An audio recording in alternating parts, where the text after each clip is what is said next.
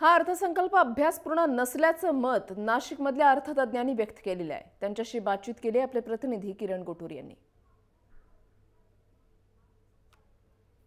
आपल्याकडचे नोकऱ्या आणि उद्योग मोठ्या प्रमाणावर इतर राज्यांमध्ये जातानाचा आपला अनुभव आहे. आणि आज आर्थिक राजधानी म्हणून पण एन सी आर म्हणजे दिल्ली गुरगाव आणि नॉयडा या रिजनकडे पाह पाहिलं जातं. तर त्या त्याचा ट्रेंड रिव्हर्स करण्यासाठी ज्या उपाययोजना करायला पाहिजे होता आणि सर्व्हिस सेक्टरमध्ये जॉब जनरेशन जे मोठ्या प्रमाणात करायची गरज होती आणि त्याला जे बूज द्यायची गरज होती तिथे आपण कमी पडलेलो आहे. रिअल इस्टेट हे सेक्टर महत्त्वाचं याच्यासाठी कारण ही पायाभूत सेक्टर आहे. आणि इथे अत्यंत कठीण परिस्थितीत आज मंदीतनं जाते आणि राज्य सरकारच्या हातात जर तुम्ही म्हटलं तर राज्य सरकारच्या हातात स्टॅम्प ड्युटी हा एक महत्त्वाचा टूल असतं.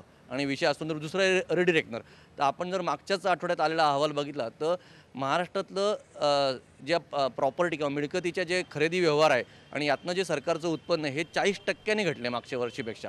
आणि ही अत्यंत कठीण परिस्थिती आहे. आणि अशा परिस्थितीत सरकारकडनं स्टॅम्प ड्युटीचं रेट कमी करणे किंवा रेडी रेकनरचे म्हणजे ज- सरकारी दर याच्या संदर्भात कुठल्याप्रमाणे धोरण आणणे योग्य धोरण आणणं ही अपेक्षासुद्धा या बजेटमध्ये होती आणि त्याच्या संदर्भात काहीतरी तरतुदीची गरज होती.